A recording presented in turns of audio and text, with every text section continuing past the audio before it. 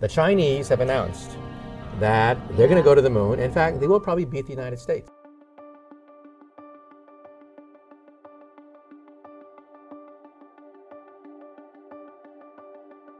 Prepare for an enlightening journey with renowned physicist Dr. Michio Kaku as we challenge conventional wisdom about the moon, its origins, and its true purpose. Join us in uncovering remarkable lunar discoveries that defy expectations and revolutionize our understanding of our celestial neighbor. It's astonishing to ponder why humanity hasn't returned to the moon since the historic Apollo 11 mission in 1969. The years have seen incredible technological advancements, making a return trip more feasible than ever. Recently, Dr. Michio Kaku shared his insights on lunar exploration, commending China for sending a robotic spacecraft to collect lunar samples, a feat previously achieved by only the United States and the Soviet Union. China's progress is particularly intriguing as they emulate the U.S. approach while finding shortcuts. Dr. Kaku also brings attention to the military implications of space exploration. With the moon becoming a more frequented destination, he highlights concerns about potential sinister motives. Major powers like Russia and China are actively developing hypersonic drones, which are becoming preferred military tools. Dr. Kaku emphasizes that the moon itself lacks significant military value, given its proximity to Earth, revealing the deeper strategic dimensions of space exploration and its potential military implications. As we navigate the evolving landscape of space exploration, the establishment of the United States Space Force becomes pivotal. Initially met with skepticism, its role in safeguarding over half of Earth's satellites under U.S. control is essential for protecting our economy and communication systems. However, it's crucial to avoid an uncontrolled arms race in space.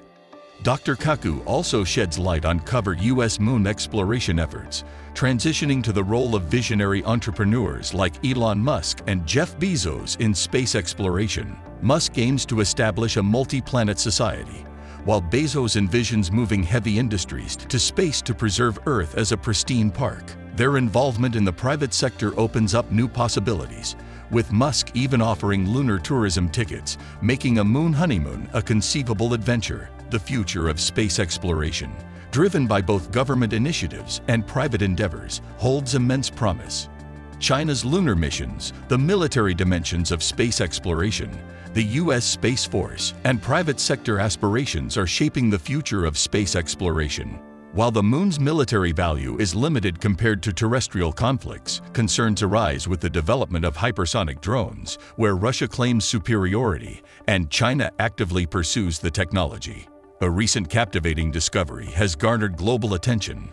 The confirmation of water in tiny glass beads scattered across the moon's surface. This groundbreaking revelation was made by China's Chang'e 5 lander during its mission, sparking excitement and anticipation about the implications for future space exploration. A team of dedicated researchers meticulously examined these glass beads, unveiling the presence of water concealed within them. These findings significantly contribute to our knowledge of lunar water and its importance for future lunar exploration.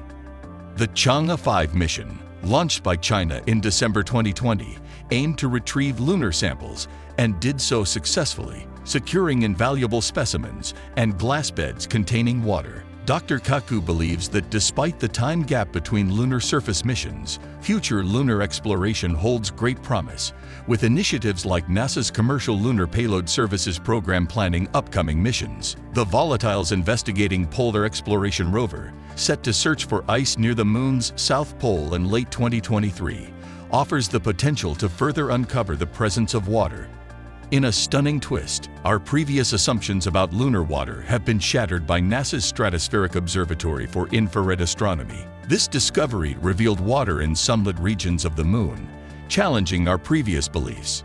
This revelation implies that water might be present across the entire lunar surface, opening up new possibilities for sustainable lunar missions, resource utilization, and potential human settlements. Turning to NASA's Airborne Observatory SOFIA, equipped with a powerful infrared telescope, researchers explored the Clavius crater on the Moon's visible side. This crater, with its grandeur and well-preserved features, offered a surprising discovery, the presence of water molecules. This finding enhances our knowledge of the Moon and its potential for future exploration.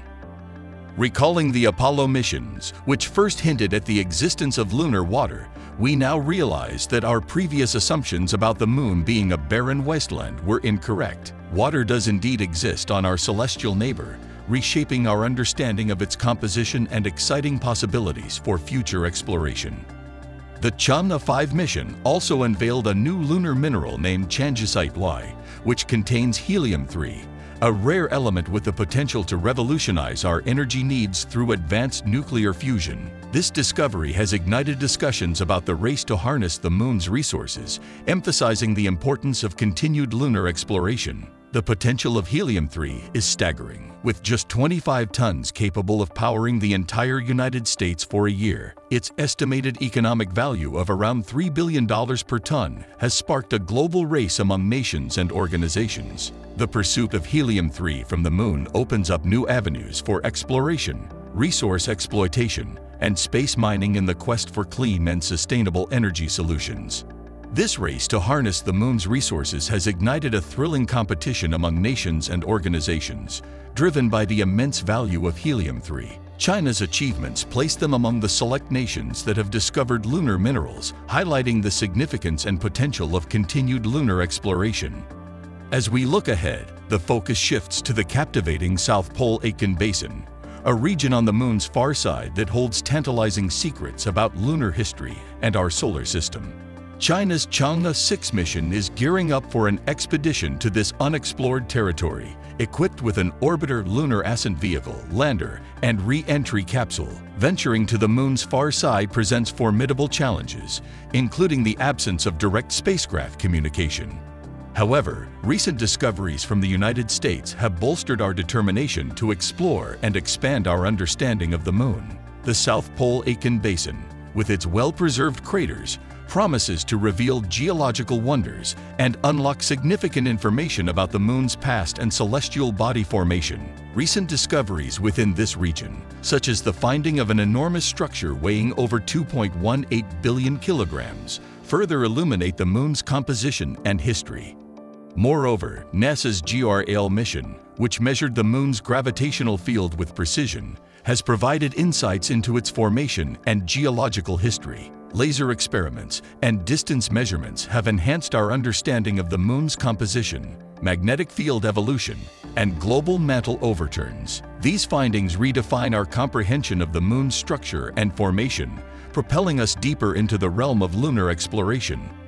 Our journey with Dr. Michio Kaku has taken us through a series of astonishing lunar discoveries, challenging our preconceptions and expanding our understanding of the Moon. From the presence of water in glass beads to the revelation of helium-3 and the exploration of the South Pole Aitken Basin, we stand on the cusp of a new era of lunar exploration.